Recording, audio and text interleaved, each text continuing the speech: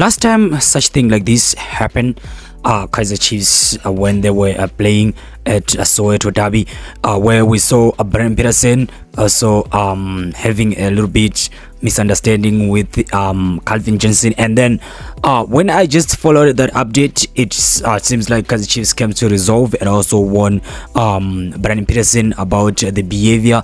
And also dr. Khumalo comes to uh say something that you can uh, do like that uh, in front of everyone. It's better to do it in the dressing room but guys it didn't stop there.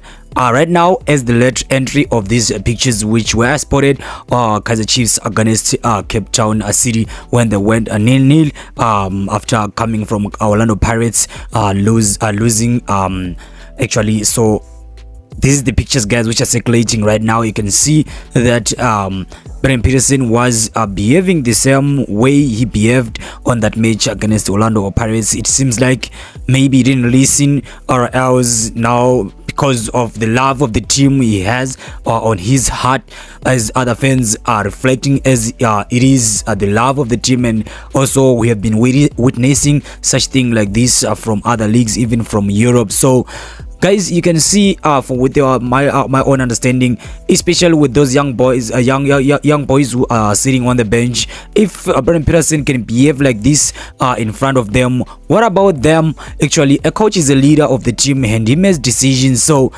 maybe you can see here he's also uh, speaking with Fiso Hlanti in front of Cavin Johnson. You can see even uh, guys the face expression he can show you that there is uh, maybe complaining about something. So I was just suggesting if he feels like maybe he doesn't want to be a player no more. Maybe it's because of game time. Um, maybe lacking of game time. It's also uh, giving him uh, a go ahead to go and maybe looking the coaching department. Maybe if he can want to be a coaching a coach, he can also go ahead and do the courses guys and be a coach or maybe he can be also a next uh interim coach for Kaizer Chiefs. I'm, I don't know guys. I'm just saying with my understanding. But guys this is not funny actually. Let's be honest because uh it's disturbing issue especially from other uh, other players when you can see. Last time it was him on the picture it was him on the video it was uh, um Cavin Johnson him and also Sfiso Hlanti.